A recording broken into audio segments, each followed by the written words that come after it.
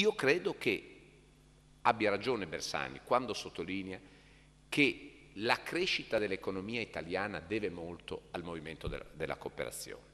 a tutto il movimento della cooperazione, alle diverse aree di vecchia identificazione politica che hanno fatto percorsi diversi ma che hanno prodotto una grande realtà economica che noi non possiamo sottovalutare. Vi vorrei far notare che queste cose non le dico oggi, ma le ho sempre dette. E quando il mio partito ha avuto responsabilità di governo eh, con il governo Berlusconi e all'onorevole Vietti, mio vicepresidente del gruppo, fu affidato il tema del diritto societario con un certo mandato, fu assolutamente garantita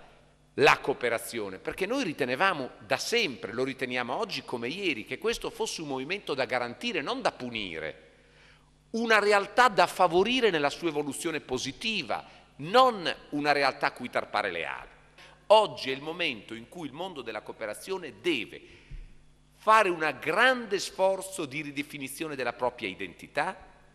innovarsi profondamente e per questo cogliere l'opportunità di una unità. La politica non giustifica più la divisione in diverse centrali cooperative. Questo secondo me è la cartina di tornasole della sincerità di certi propositi. Vi voglio dire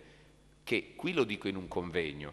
ma poiché recentemente ho letto un articolo su un giornale che parlava di questo tema su 24 ore e il giorno dopo ho telefonato al mio amico Luigi Marino, sono amico in base a un vecchio collateralismo, perché fu lui, fu lui, fu lui ad iscrivermi alla democrazia cristiana quando era delegato del movimento giovanile, così svelo un suo peccato, e gli ho detto questa è la strada che dovete prendere, ma la dovete prendere al più presto, perché dato che oggi il mondo della cooperazione è per unanime riconoscimento un grande evento economico, dovete cogliere l'occasione per lasciare i vecchi porti per avventurarvi in mare e credo sarete protagonisti del cambiamento.